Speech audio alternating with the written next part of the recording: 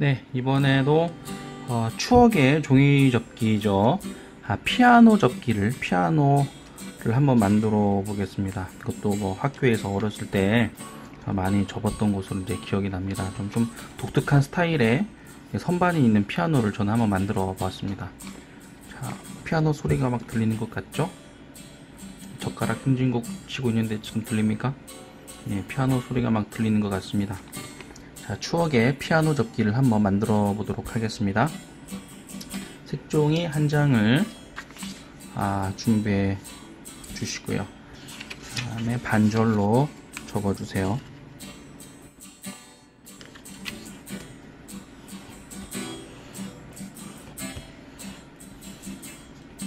네, 또 반절로 이렇게 접어 주세요.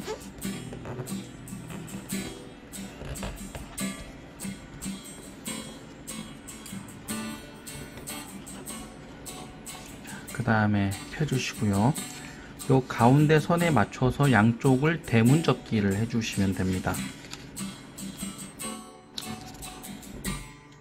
대문 접기를 이렇게 해주세요.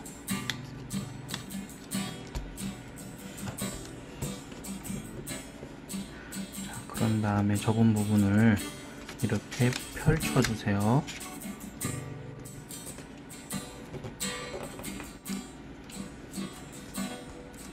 반대쪽도 이렇게 펼쳐 주시면 어, 집적기가 됐죠? 집 만들기가 됐습니다. 자, 요 상태에서 요 부분 이 선에 맞춰서 한번 이렇게 접어 주시고요. 또 위를 이 선에 맞춰서 한번 접어 주시고요. 그 다음에 펴 주세요. 그 다음에 위를 접은 선에 맞춰서 한번 또 이렇게 접어 주시고 꾹꾹꾹 눌러 주세요. 자 그런 다음에 한번 이렇게 다시 펴보겠습니다.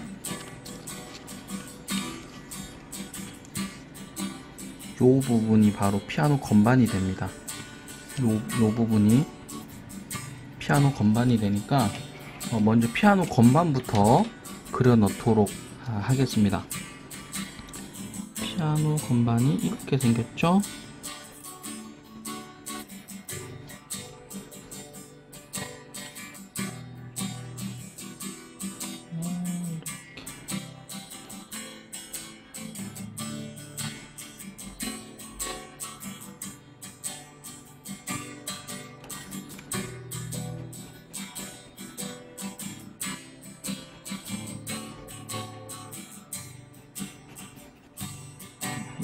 이쁘게 피아노 건반을 이렇게 그려주세요.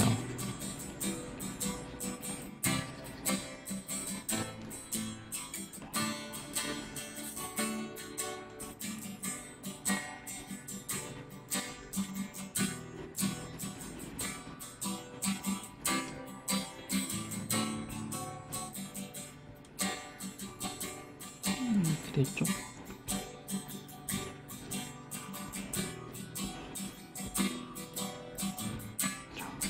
이렇게 이렇게 돼 있는 것 같은, 같은데요. 네. 네, 피아노 건반을 그려주시고요.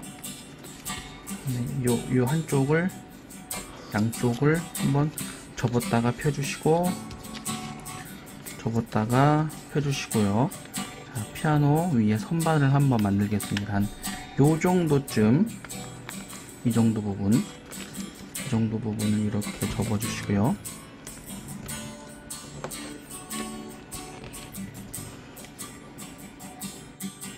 접었다가 펴주시고요.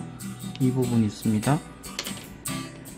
접은 이 부분, 이 부분과 접은 부분이 만나는 이 부분, 이 부분에서 이렇게 접어주세요. 한번 만나는 이 부분 이렇게 음, 접어 해주시면 됩니다. 마찬가지로 반대쪽도 똑같이요.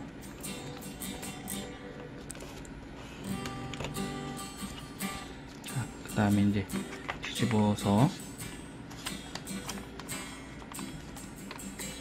이렇게 만들어 주세요. 접고 접고 이 부분은 세워주고요. 스타일리시한 피아노죠. 마찬가지로 이 부분도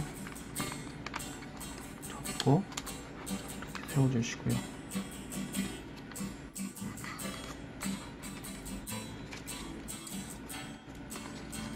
건반을 접고 접고 접어서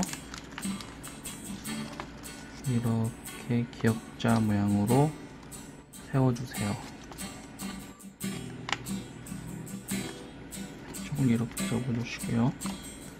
너무 나왔으니까 이 부분을 이 정도로 한번 양쪽을 조금씩 접어주세요.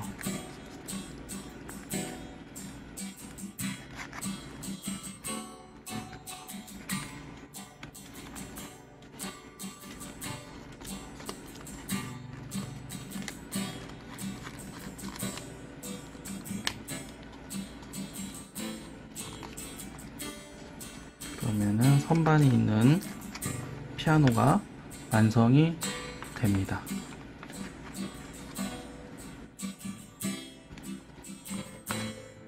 피아노 연주를 한번 해볼까요? 자, 저는 피아노가 두 개 있으니까 두 대를 치겠습니다. 딴딴딴딴딴딴 따라단딴딴 따라단딴딴 따라단따단 따단딴딴 네 이렇게 아주 스타일리시한 피아노가 완성이 됐습니다.